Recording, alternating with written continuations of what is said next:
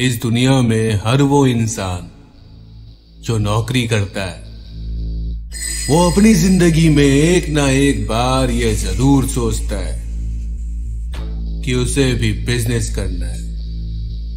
मगर सौ में से सिर्फ़ दो या तीन परसेंट ही होते हैं जो बिज़नेस भी करते हैं और उसमें कामयाब भी होते हैं। जानते हो क्यों? क्योंकि ख्वाब पालना तो बहुत आसान होता है। मगर उस ख्वाब को हकीकत में बदलने का दम हर किसी में नहीं होता। अगर आज तुम भी नौकरी करते हो, और अगर तुम्हारे अंदर भी बिज़नेस करने का ख्वाब पैदा हो रहा है तो उसके पनपने से पहले खुद से यह सवाल ज़रूर कर लेना मेरे दोस्त। कि क्या तुम सातों दिन और चौबीसों घंटे अपने ख्वाब को दे सकते हो? क्या तुम प्रॉब्लम से घबराने की बजाय उनको मिटाने की कोशिश कर सकते हो?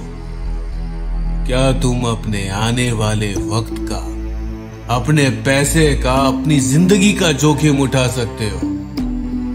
और क्या तुम अपने इस जुनून को मंजिल के मिलने तक बरकरार रख सकते हो?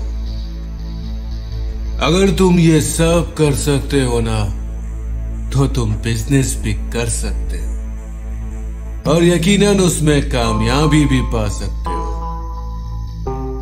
वरना जितना जल्दी हो सके ना ये बिज़नेस करने का या एंटरप्रेन्योर बनने का ख्याल अपने दिमाग से निकाल दो। क्योंकि बिज़नेस करना एक हुनर है, एक जिद है। और इस जिद को पूरा करने के लिए मैदान में दो ही तरह के खिलाड़ी उतरते हैं। एक वो जो जिद करते हैं कुछ बनने की, पर जरा सी वक्त की नाकामयाबियों से हार मान लेते हैं। और दूसरे वो जो अपनी जिद को तब तक नहीं छोड़ते जब तक कि उनकी जिद पूरी नहीं हो जाती। अब फैसला तुम अपने आप कर सकते हो कि तुम कौन से खिलाड़ी हो। बिज़नेस करने वाला या नौकरी करने वाला।